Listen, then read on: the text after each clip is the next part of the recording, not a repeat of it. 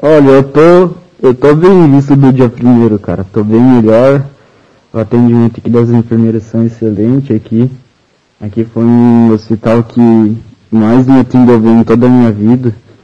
Em todos os hospitais que eu passei aqui foi o melhor lugar que eu fui mais bem atendido e tô sendo tratado bem aqui.